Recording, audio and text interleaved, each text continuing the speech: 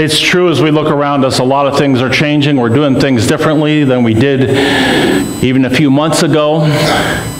But we need to rest on the fact that no matter what changes, there are certain constants in our world. That Jesus Christ is still the Son of God and He is still Lord and He is with us. And He has sent the Spirit to us to help guide us through things. And no matter what, we need to stay focused on those basic fundamentals of our faith. So we may find that we have to do things different. We may wear masks for a while. We may do some online services and online meetings. But we will still worship God and we'll still worship God together. That has got to be our commitment. And as we talk about that, as we're talking about this is Pentecost Sunday. As you see up there the title, Finding Your Fire for God. That's what we need to do. Are we on fire for God or have we lost some of that fire? And why? I know some people are fired up for God, I hear it. But some of us need to find out what it is. So we want to open up this morning, if you'll stand with me, and let's read our opening scripture as we read what happened on that day that we talk about that we call Pentecost. When the day of Pentecost came, they were all together in one place. Suddenly, a sound like the blowing of a violent wind came from heaven and filled the whole house where they were sitting. They saw what seemed to be tongues of fire that separated and came to rest on each of them. All of them were filled with the Holy Spirit and began to speak in other tongues as the Spirit enabled them. Now there were staying in Jerusalem God fearing Jews from every nation under heaven. When they heard this sound, a crowd came together in bewilderment, because each one heard them speaking in his own language. Utterly amazed, they asked, Are not all these men who are speaking Galileans? Then how is it that each of us hears them in his own native language?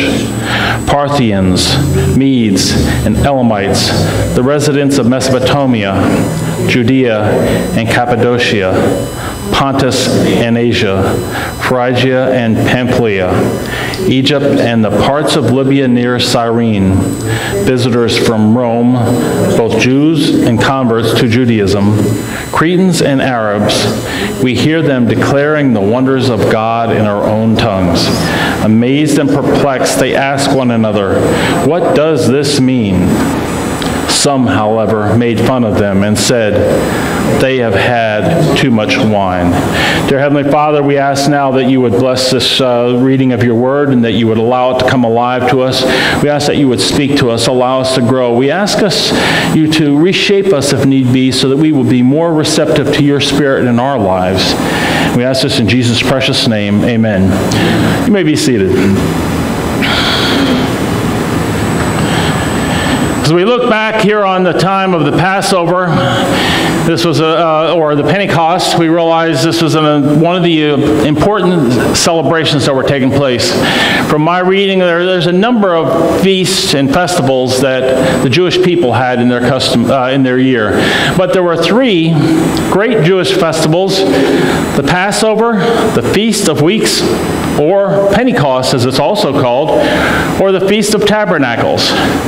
These three were so important that any Jewish male that lived within 20 miles of Jerusalem was pretty much obligated to show up for it. So you're talking at the time when Pentecost happened, Jerusalem was packed. There was huge crowds because everybody came for this uh, Feast of Weeks. Pentecost itself means the 50th, and the reason for that is it was the 50th day after the Passover, and that's when this takes place. The Feast of the Week celebrated two significant things. Historically, where this really started, it commemorated the giving of the law to Moses on Mount Sinai. Remember, we got the law on the tablets? That's what we're remembering on this thing. The other was an agricultural significance. We're thanking God by bringing his first fruits and we're offering them as a sacrifice to him. And that's what the purpose of this feast was. Now, when Pentecost came, you have to realize the timing of what's taking place in here. It's a packed city. I'm thinking it was a city with a lot of uncertainty because this happens nine to ten days after the ascension of Christ. So think in mind, we talked about at Easter time how when Jesus was crucified, how there was so much turmoil in the city because there were some pro Jesus people and there were some who opposed to Jesus. And how, depending on what part of the week, uh, who was celebrating and who was torn down, and now suddenly everybody's scattered when he is crucified and nobody knows what's going on and then suddenly you get the spark of hope again because jesus is risen from the dead and some of us have seen him the stories start to spread. And then nine to ten days before this he has ascended into heaven. He's gone again. And they've basically been told to wait for the holy spirit I think this is a time of uncertainty as they are. But the crowds were all in the city for this great feast. The disciples, it says, are all together in one place. So here they are gathered together, and I'm thinking they had to have mixed emotions. The Spirit hadn't come on them yet. And at the same time, those who were trying to put the final squash on Christianity were out persecuting Christian, Christians. So they were probably being a little bit careful at first. You know, what do we do? What can we say? What's going on? Are they going to come for us next? But there were those who still held firmly to their faith in Christ. And then we're told that the Holy Spirit fell mightily on the disciples. And when this happened, it said there was a sound like the blowing of a mighty wind. You imagine that big old winds coming through this building, and I think we'd all be taking cover and wondering what's going on. And then tongues, something like tongues of fire came to rest on each one of them. It said it came between them and came to rest on each one of them. Anybody ever see anything like that? I haven't. And it said that they had the power to speak in tongues suddenly and power to mightily spread the gospel of Christ. So all of a sudden they came alive and they started testifying for Christ and they were no longer hiding, they were no longer timid, they were no longer weak. They were going out and spreading the gospel. They were just on fire. And that's what we were looking for is that fire. Now, contrary to what some think, the Holy Spirit didn't first come at Pentecost. Some people think that this is when the, Pentecost, the Holy Spirit was suddenly unveiled to the human race. No, this was just a mighty outpouring of the Spirit that took place here.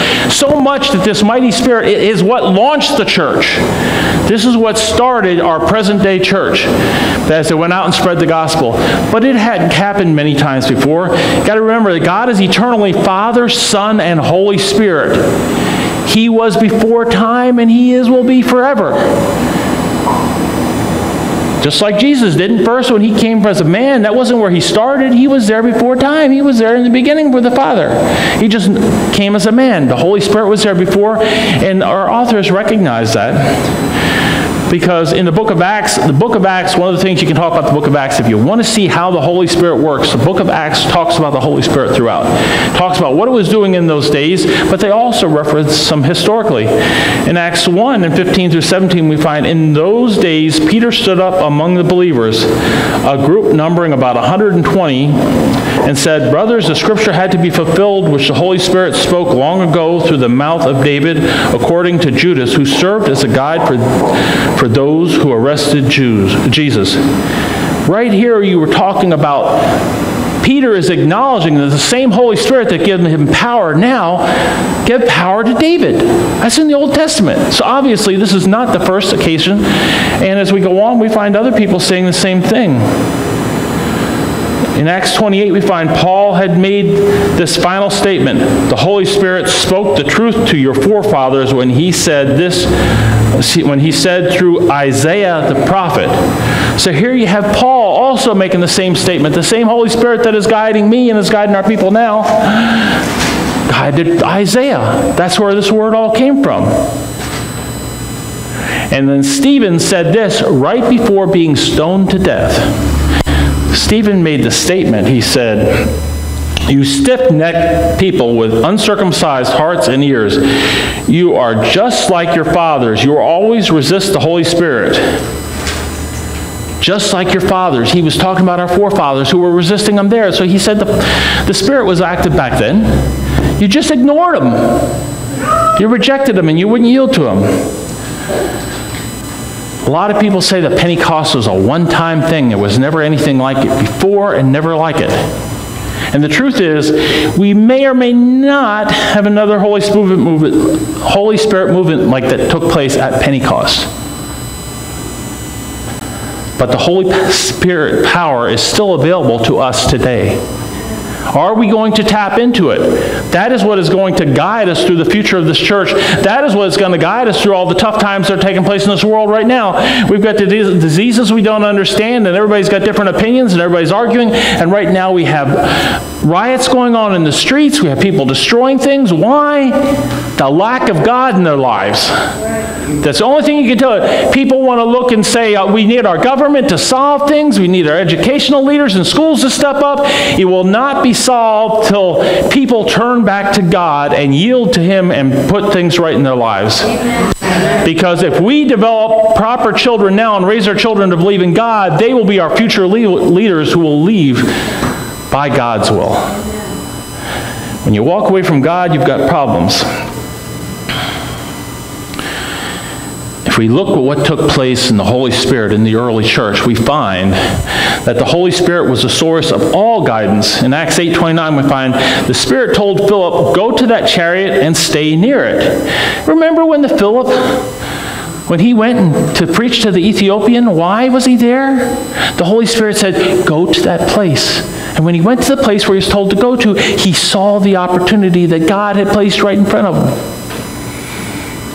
That was a little thing of nothing more than being in the right place. We need to look for the Holy Spirit's guidance in everything in our lives, even the little things.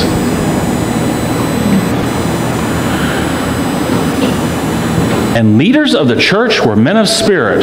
In Acts 6 3, we find, Brothers, choose seven men from among you who are known to be full of the Spirit and wisdom. We will turn this responsibility over to them. Where did this place take place here? This is when the disciples suddenly realized they were overloaded and they couldn't do it all themselves and they had to go out and reach and say, hey, I want Tom, I want Bill, I want Louette, you, I all need you to do jobs. And they chose leaders to help in the church. But oftentimes in the church today, people forget the fact that we need people who are led by the Spirit to be our leaders. Who do we do? We choose leaders sometimes because they're popular or because they have some kind of business background. Oh, he runs a business, he knows how to do this. He understands all these business principles that we need to grow our church. Nothing wrong with those things. Those are great if we can get that. But if that person doesn't have the Spirit of God in them, it's not going to work too well in the church. It will actually destroy the churches. A lot of churches have been destroyed because they're not being led by the Spirit. We need spiritual leaders in our church, and we need spiritual leaders in our businesses too. We need to look for that. And the Spirit was the source of day-to-day courage and power. In Acts 4:31 we find after they prayed, the place where they were meeting was shaken, and they were all filled with the Holy Spirit and spoke the word of God boldly. I believe this was Peter who went out and spoke boldly. But when all this happened, it was in day to day life. It wasn't just in come to church on Sunday and say, Praise the Lord and hallelujah, and we're all excited because we're in the house of God. It's in everything we do seven days a week, even the little mundane things. God's got to be there through every day to day activity to give us courage and power. But we find that the degree to which we can possess the Spirit is conditional by the kind of people we are. In Acts 5.32 we find, We are witnesses of these things, and so is this Holy Spirit, whom God has given to those who obey Him. We can't ask God to give us the Holy Spirit and then go out and do everything the way we want to. We have to know God's laws, know God's commandments, know His leading, and there are some things in our lives sometimes we have to weed out. Whether it be activities, places we go, people uh, we're dealing with, or attitudes.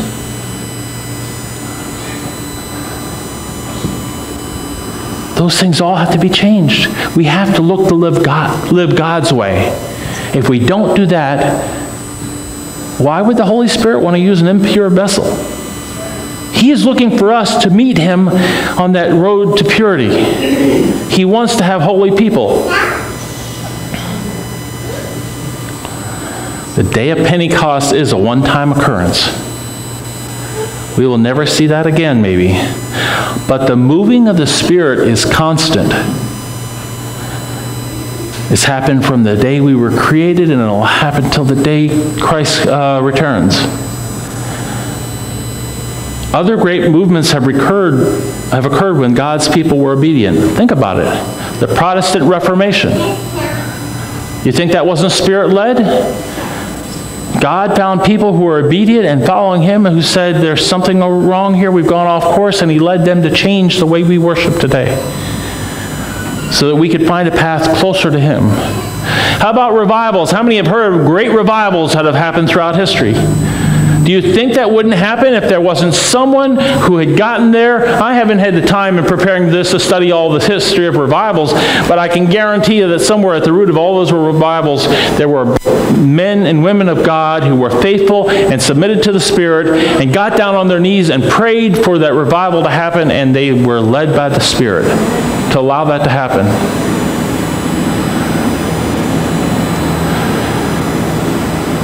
Many of these great moves of the Spirit have occurred during times of crisis and uncertainty. Usually that's when things change in our lives, when we've hit rock bottom, when we're going through struggles. It's not when things are going good. You think things are good, everything's great, but it's suddenly when you hit rock bottom. I know it was that way in my life. When I have been the closest to God is when everything was falling apart. That's when we open up and allow God to work.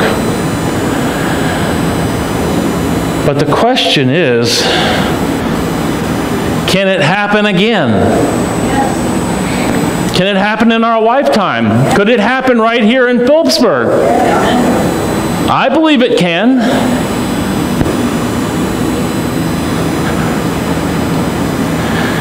Second Chronicles, we find, if my people who are called upon my name will humble themselves and pray and seek my face and turn from their wicked ways, then I will hear from heaven and forgive their sin and will heal their land. Now, some people will say sometimes when we see an old scripture like this, that, oh, that was a promise God made for that particular time in that situation, and everybody wants to claim another promise. That promise may have been made, but what that showed was the heart of God. And I believe that principle still applies today. That is a principle that when people decide to get rid of the junk in their lives and fully submit to Him and serve Him, that he is willing to come and work in them through power. We don't know in what format. Could we literally see another Pentecost type of experience? Or could we see something even greater? I don't know if we'll see it in our lifetime or when it's going to happen, but I think that there is going to come a time when the Holy Spirit will move so mightily that Pentecost will look like child's play. Can you imagine that? So what here everybody's talking about the new normal, right? What is the new normal? They say, oh yeah, we're going around with masks. We've got a distance, social distance they call it. I hate that term. Somebody else pointed out it should be physical distance. We don't want to stop socializing. If we couldn't meet together, we met online if need be. We're social people. We were created to be that way. But what if the new normal was more about us giving up our old ways? What, if the new, what is the new normal for the church? Giving up our old, old ways and fully surrendering to the yielding of the leadership of the Holy Spirit. What would happen if we really could tap that deeply into the Holy Spirit? Because we got away from all the distractions and the things that were stopping us. So, if you want to find your fire for God, you must be willing to obey God in all things Rely on God as your source of guidance.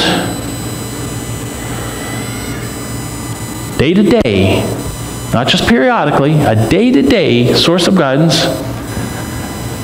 And you must yield to the lead, uh, uh, leading of the Holy Spirit in your lives. When He tells you to do something, you say, oh, I, can't, I can't do that. They'll mock me. I don't have the power to do that. I don't have the strength. That's right, you don't. That's why you need the Holy Spirit. God will do through you what you could never do yourself. That's how we find our fire for God. By totally being obedient, totally surrendering, totally yielding our own selfish ways and of doing things. And when we do that, God can work mightily in our lives. Let's pray. Dear Heavenly Father, we thank you for this message. We thank you for your presence in our lives. We ask, Lord, now that you would examine our hearts and see where are we holding back? Where are we maybe being rebellious or disobedient? We ask, Lord, that you would examine that in our lives and you would rip that out of us and you would take full control of us, Lord, and allow us to totally yield to your leading in our lives. We want to be fully yours, Lord. We want to sense your Holy Spirit in a stronger way. So we ask now, Lord, that you would guide us, enable us, and empower us. We ask this in Jesus' precious name. Amen.